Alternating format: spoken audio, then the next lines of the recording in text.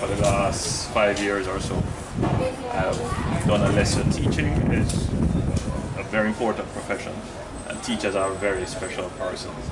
Um, so therefore, it is good for us as a country, as a nation, as a people, to acknowledge the work of our teachers.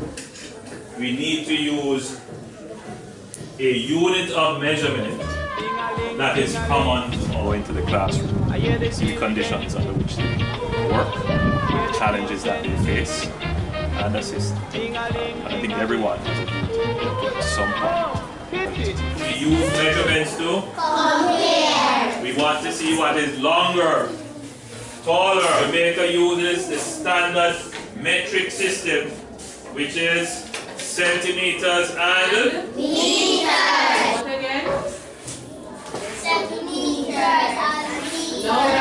Louder. What does it use? You can see it's orderly, it's clean.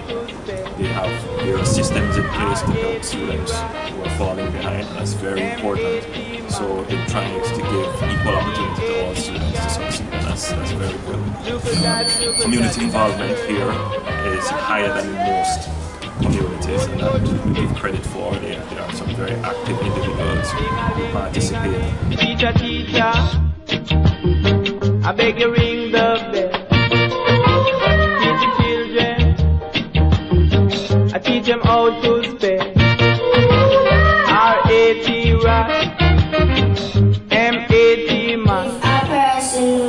to search for all the knowledge of the world. He will find it when he wants it.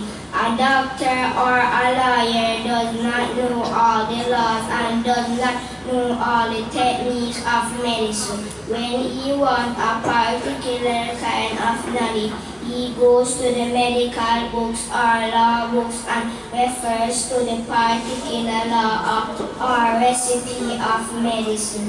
Spend most of your spare time in your library. If you have a radio, listen to lectures, recital, speech, and good music. You may think many a good thought out of listening to good music. Use every spare minute you have in reading. If you are going on a journey, carry something with you. Name is Gideon Thompson. Gillian. Teacher, happy teacher.